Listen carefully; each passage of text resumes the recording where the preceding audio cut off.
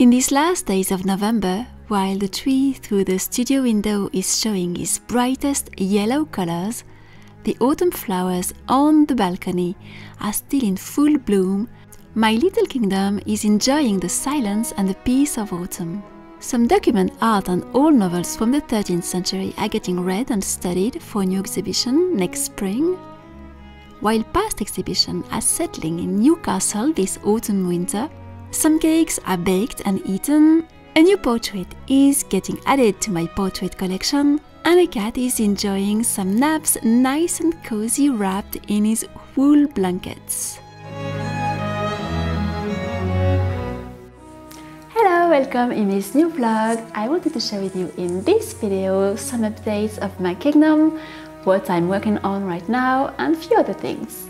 So the first thing I wanted to share is the exhibition I created pieces for these past years for Le Centre des Monuments Nationaux. There were three exhibitions and they are all traveling in different places all the time. Every, every, every six months they are changing and they have all been settled in new castles in different parts of France, in beautiful castles.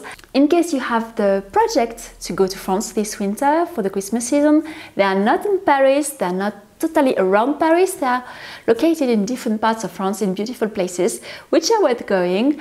Uh, so I wanted to share that with you. The exhibition Fantaisies pour un palais, where I created the baroque ship, is going to be in display at le château de Bussy-Rabutin in Bourgogne, not very far from Dijon, from November 25 till May 4th, 2024. So you have quite many months to go if you plan to visit it, both to see the castle and the exhibition.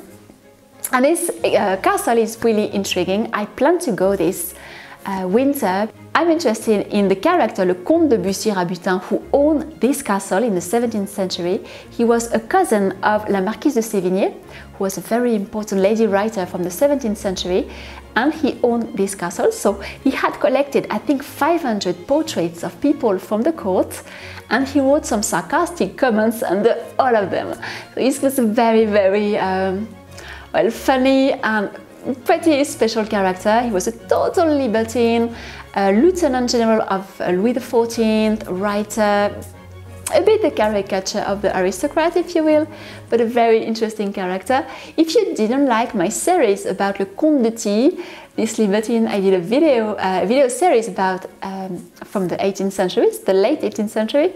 Uh, you wouldn't like Le Comte de Bussy-Rabutin at all. He's, I think, much worse than Le Comte de T. but he wrote, he had a very beautiful writing too. He's famous now for his correspondence and also he wrote a book uh, sharing all the extravagances the nobility was doing at the time and he hid that under the shape of a novel but it's all the characters from Versailles could recognize themselves in the novel so it's pretty interesting.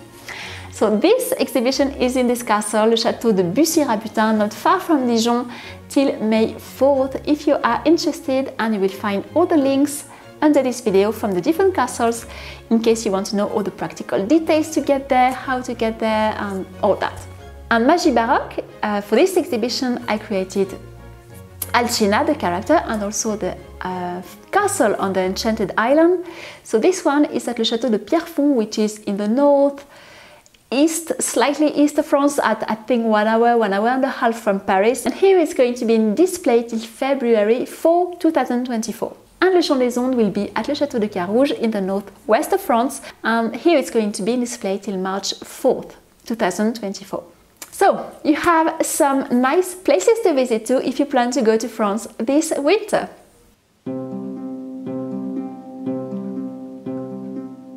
I'm also right now studying and reading all the documents um, text for the new exhibition next spring, also organized by Le Centre des Monuments Nationaux, like the past exhibition I collaborated with.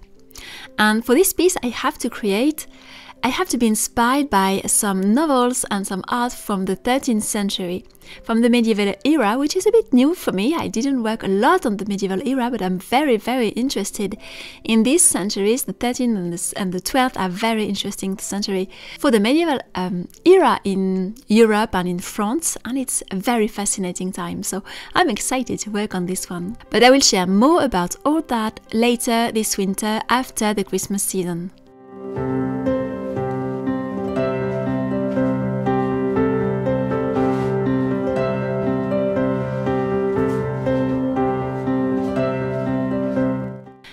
As we are now gently reaching the end of November, I've started to put out all my Christmas boxes and I started to think about how I would organize my decor in the different rooms outside this year with all the past decors I created, of course, but also with the new ones. So I'm just starting to be a little excited about that.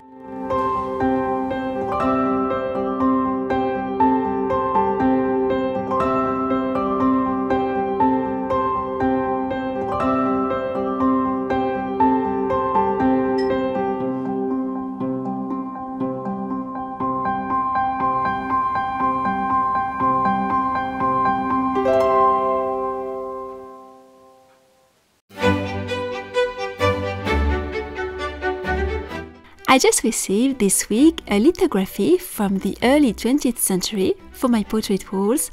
It's not an old engraving, it's a lithography, so it has no big, big value, but it is a portrait of a German artist and engraver, and his name was Jean-Georges Wille, Johannes Georg Wille, and he spent his entire life in Paris as an artist engraver of the king in the 18th century. And I recently read the second volume of his diary, his own diary, and as I need my daily dose of time traveling, reading the diary of this artist was wonderful and a very powerful way to go back to the daily life and the mundane detail of an artist in Paris in the second half of the 18th century from Louis XV era to the French Revolution. It's not, of course, an exciting novel, there is no big, crazy adventures of any kind. It's really the diary of a normal person who had comfortable income, he was not poor, but he talks about his art, his clients, his students, but also his little escapade, the show he likes to see, uh, the books he likes to read, and all the historical events which took place also at the time. Now, I can't resist to read you a few excerpts just to give you a taste of it. On July 5, 1791, he talks about his home because his son has recently moved in with him with his wife and he has reorganized the different apartments of his home. I have slept for the first time because of the move from the second to the third floor.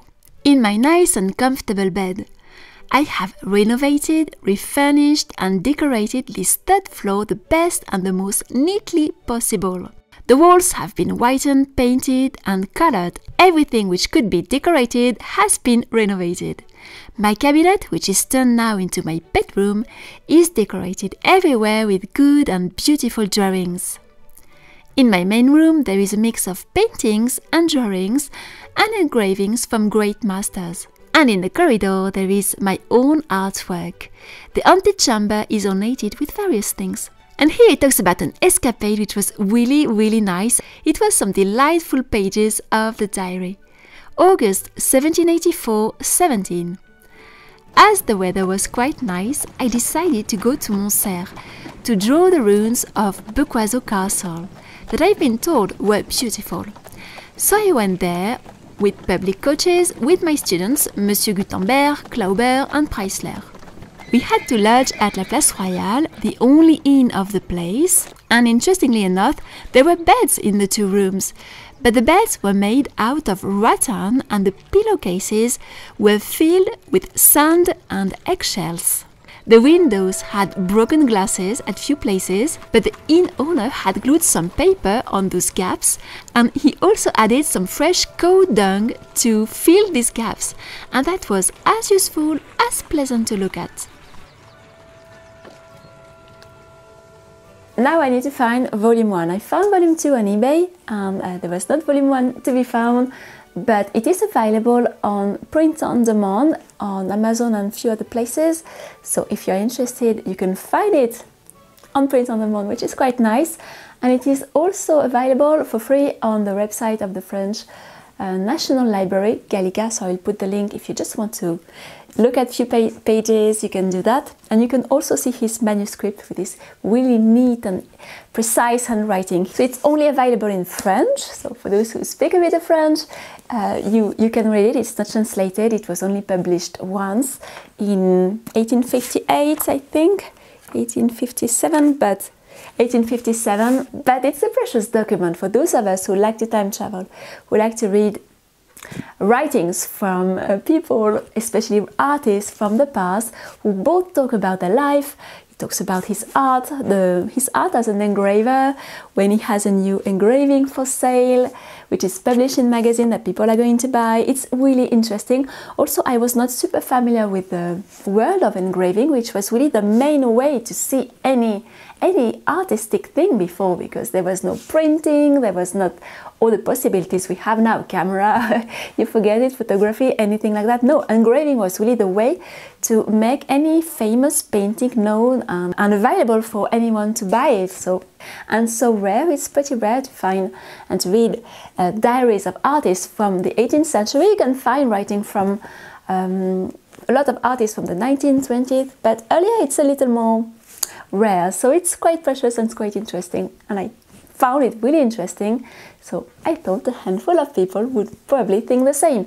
You will find the information if you want to go further about this engraver and if you want to, to check his manuscript and um, diary which is available online. Since the beginning of autumn I try to improve and practice my cooking and baking skills. I'm not a good cook at all but I want to I want to improve especially now that my kitchen is better. It inspires me to spend more time in this room. So I've started to do a cake every weekend even if I don't have guests or specific persons coming to me. And last weekend I tried a carrot cake with carrots and walnuts and spices, a very very easy cake to do, perfect for my basic skills, and it tasted very much like gingerbread and it was not very greasy or anything like that. So just a sort of cake where you can eat a lot of it without feeling guilty at all. The icing was not perfect at all. I need to improve on that.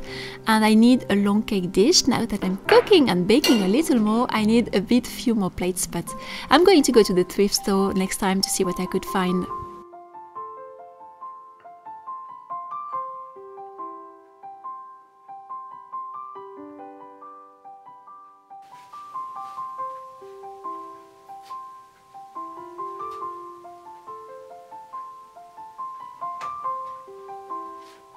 very much for watching this little update. I will see you soon with all my Christmas videos.